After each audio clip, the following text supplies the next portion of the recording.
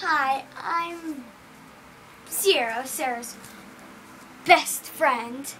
We're doing something a little bit dangerous. Well, as you can see there's a mattress behind me. What we're doing is climbing up and sliding down. Oh, young kids, don't try this at home. Sierra, you ready? Mm -hmm. Oh no. This is kind of scary. Please don't get my butt in this.